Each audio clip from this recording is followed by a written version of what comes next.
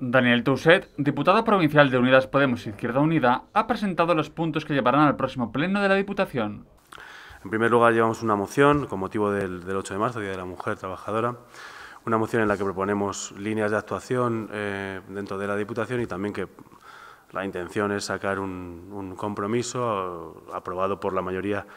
eh, más amplia que se pueda para, para, hacer de este día lo que, lo que debe ser, que es un, día, un hito más en la lucha feminista y en la lucha por la, la igualdad efectiva entre mujeres y hombres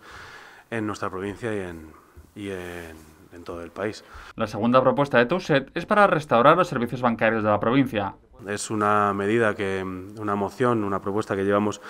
eh, en respuesta al, a la oleada, al éxodo bancario que estamos eh, asistiendo en los últimos meses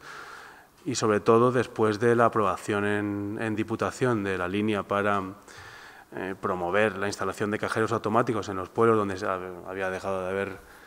mm, entidades bancarias y cómo eso se ha pagado, entendemos que la respuesta a esta medida de la Diputación, una medida que votamos a favor, una medida que entendíamos que era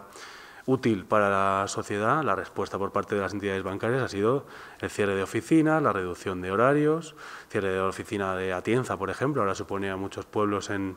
en Guadalajara que tengan que ir desde la zona de Atienza o desde la propia Atienza hasta Sigüenza a, a tener una atención bancaria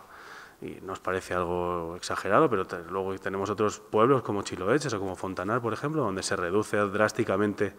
el servicio que se da a los ciudadanos de una manera que para nuestro entender es completamente injustificada. Igualmente, llevarán dos preguntas al Pleno. La primera, relacionada con la reunión a la mesa de transporte. Hace unos meses trajimos una moción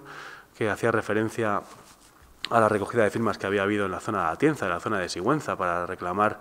el mejor funcionamiento del, transporte público que les llega, incluso, bueno, en concreto, la atención telefónica a, que, garantizaba que la prestación de ese eh, servicio llegase a ciertos pueblos de la zona de Atienza. Se comprometió el Pleno a convocar la Mesa del Transporte, a llevar a cabo medidas y, y por ahora la Mesa del Transporte no se ha convocado. La segunda pregunta será relativa a la Mesa de Igualdad. En noviembre se trajo y se hizo la aprobación definitiva del reglamento que, que regula la mesa de igualdad y a día de hoy eh, nos plantamos prácticamente en marzo y esa mesa no se ha reunido. Creemos que eh, las mesas tienen que servir, tienen que funcionar y para eso se reglamentan. Y por eso eh, la pregunta que vamos a hacer es cuándo se va a convocar esta mesa y si, si entienden que es útil o no es útil.